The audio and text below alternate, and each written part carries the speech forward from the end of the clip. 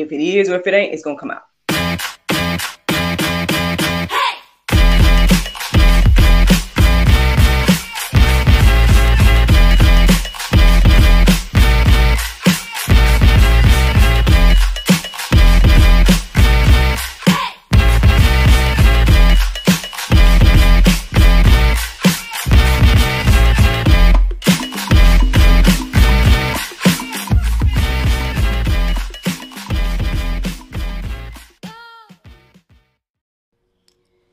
Good morning, everybody. it's your girl Miracle Sims, and you're listening to God, Sex, and Love. Your daily dose of inspiration and juice. It is November the 17th, 2022, and today the topic is the teeming tapestry. Happy Thursday, y'all. Happy Thursday. I hope that you all had a great day yesterday. Mine was just fun. Um, not too too much to happen throughout the day other than you know being a mom trying to get some rest things like that. Um have some conversations. Um there's some things in the works y'all as always. There's always things in the works so um but i'm excited. I'm gonna see what the lord do with everything but yeah I had a good meeting yesterday and then i ended up recording on someone else's podcast. So that's what my day looked like yesterday. Um as for today, I know that I have someone on the schedule to be on GSL later on uh, this afternoon, and that's about it. Um, so we'll see what happens outside of that, but yeah, that's that's what's going on in my world. Um, yeah, yeah, yeah. Um, this morning's juice is inspired by, I guess, a variety of things. Um, yes, partially, like slightly inspired by what time I got up. I got up around like 3.30. Um, and the Strong's Concordance looked familiar, so I was like, did, did I, you know, study this before? But for some reason, the word tapestry stood out to me today. Um, once I started to actually, you know, look up things after my, you know, after the prayer med- meditation. So that's one thing. Um, and the prayer meditation was also inspiration as well because it had me thinking about like uh, the word unshakable stood out to me this morning uh, as I listened to the prayer meditation. Um, it also made me think about the word. Uh, the word foundation is in my mind right now, but that's not the word. Um, fortress the word fortress also came into my heart and mind this morning as well. So I was looking up Bible verses centered around all of those things, and it was standing out. It was kind of, you know, um, yeah, standing out a little bit. But ultimately, I went back to what I read in the Strong's. The word fortress started to stand out. Um, as I started looking up verses centered around that, I started to just think about, you know, God's creation in general, and then ultimately that's I feel like is ultimately what led me to um, this topic today. Now I know this word teeming or teem T E E M. Um, it's not something I think. I mean, I don't use it every day. It was, you know, so I did have to look it up to confirm what it meant and everything like that. And um, I guess when I came across the definition, um, it stood out to me to put it with the topic for today, put it with the title. And so, yeah, the teeming tapestry.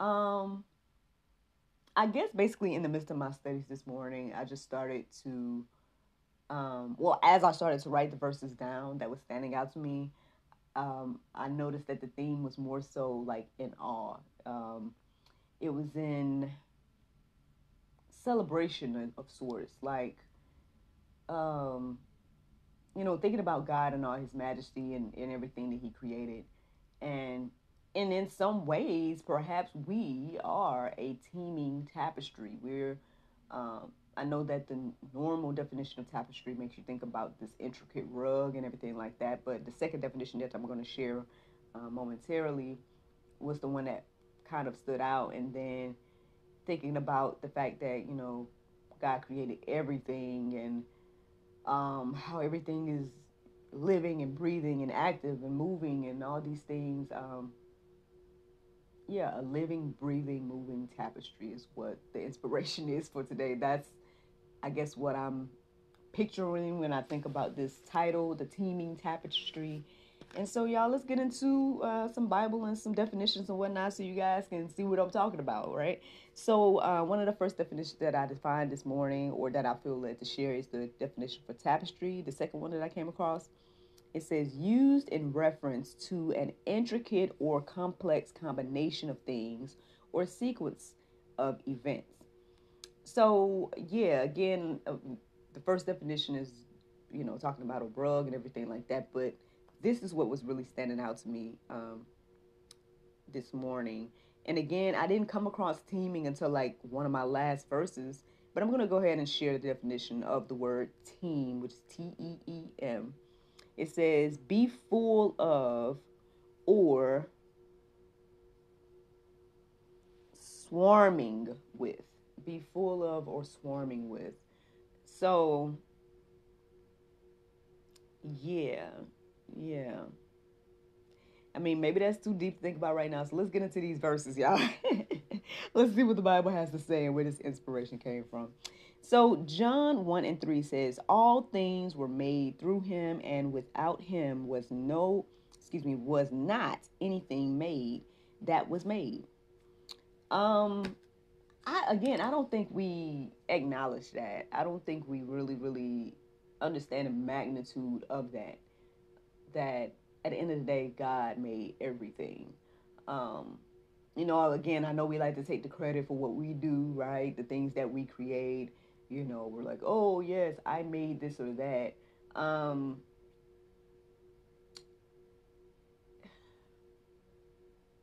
and I mean, I guess what just came into my mind right now is just just like any artist wants to be celebrated. You know, why should we not give honor and glory to the one who made it all? Um, it reminds me of this verse that's in the Go Deeper section. It's actually the last verse. Um, that I put there. I did not write the full verse, but um, it's Jeremiah 5 and 22. And it's pretty much like God asking the question, like, do you not fear me? Um, and things like that. Like, and I would say, again, in the Bible, when it refers to God, the fear is also on the same lines of respect.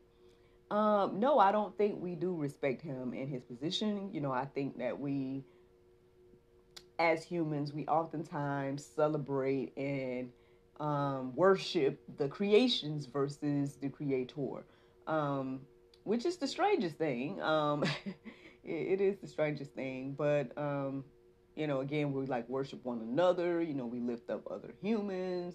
We make our graven images and whatnot. We'll build something out of wood or gold and, and worship that um, rather than worshiping the person or the spirit that created it all.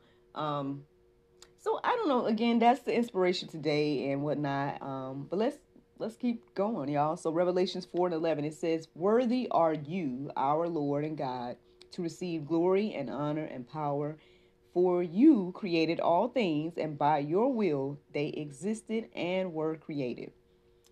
So, again, this is who deserves all the glory, honor, praise, and everything like that. Uh, the fact that we would rather uh, show glory and honor to quote unquote the universe, right? What we rather show glory and honor to, again, each other or anything else but giving it glory and honor to the Lord is just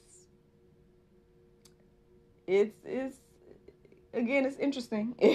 It's interesting to observe but again it happens all around us every day all day every day. Uh, let's keep going y'all. Hebrews 11 and 3 by faith, we understand that the universe was created by the Word of God, so that what is seen was not made out of things that are visible. So again, you know, we like to say the universe and and anything else that don't hold us accountable, right? I believe again, maybe this is what it boils down to. Again, we want to be our own God. We don't want to believe that there is a God. Therefore, um, but we want the blessings, right? We want to believe that, you know, there's all these blessings and things like that. And so we just, you know, narrow it down to the universe. But even if we want to call God the universe or use that as a substitute, you're still worshiping creation. You're still not acknowledging the creator. Um, but in the word here, it says repeatedly um, throughout in these verses that I've shared as well as others is that, um, you know, everything is a uh, testament to God. Like, you know, the earth, us, the sky, the sea, all these things are proof of God, for lack of a better word. But again, we rather not acknowledge that. We rather just focus on those things and and look to those things as if they are God. Um, it doesn't sound wise, you know, but it's something that we do as humans, and so. I mean, I guess I'm just trying to take out some time today to acknowledge the one, you know, the creator versus the creations. Um, let's see, Psalm 104, 24 and 25. It says, O Lord, how manifold are your works. In wisdom I have, excuse me, in wisdom have you made them all. The in wisdom have you made them. All the earth is full of your creatures. Here is the sea, great and wide, which teems with creatures, innumerable living things both small and great.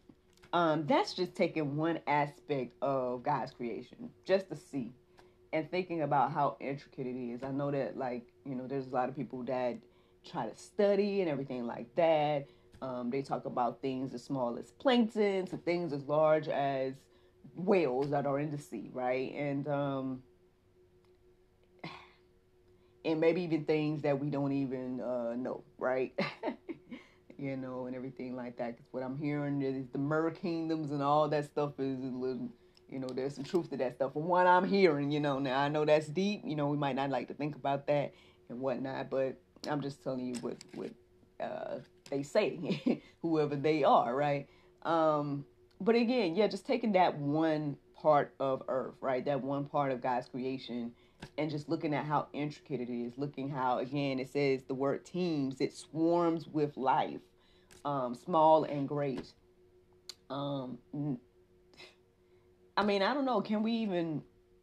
We can't even really wrap our minds around just the ocean, um, just the bodies of water, like, let alone the land, let alone the the air, the sky, you know, let alone us as each individual person and our bodies, how intricate it is and everything like that. It's just, again, from what I'm understanding, y'all, everything is a testament of God and His creation, Him being a creator. And, um, I mean, you know, that's the juice this morning. Just, you know, taking time to acknowledge God and, as the creator and, you know, and I guess be in awe of Him. And, and then don't even, can we talk about this for a second, y'all?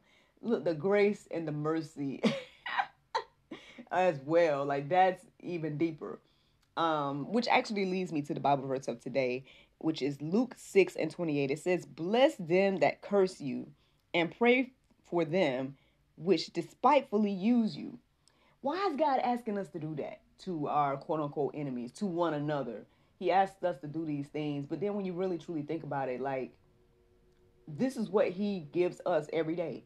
You know, his creation that don't acknowledge him, that like to worship everything but him. Um, he gives us again grace, mercy. Uh, he doesn't curse us, and you know he blesses us in spite of all of those things. And so, and then in turn, he asks us to bless those that curse us and pray for those that use us. Um, and again, anybody that um, you know, you should be humbled enough to do that because you understand that God has done that for us. So, you know, that's the juice today, y'all. Y'all can go deeper, plenty more verses in the go deeper section to peruse and let marinate on your heart, souls, and minds. Like I said, I just wanted to, you know, take some time to acknowledge the teeming tapestry today. And um, like I said, that is the juice. Um, today is Thursday, so that means that a new episode of God, Sex, and Love, the talk show, should be coming out tomorrow at 7 p.m. Um, it should be the episode that we were advertising last week, which was Miss Deanna Idris, um, or Idris. um, yeah, her episode should be coming out this Friday and everything like that. But that's it, y'all. That's the juice. I hope that you all are encouraged and inspired to acknowledge the creator versus the creations. And yeah, I look forward to talking to y'all tomorrow if the Lord's will. Bye bye.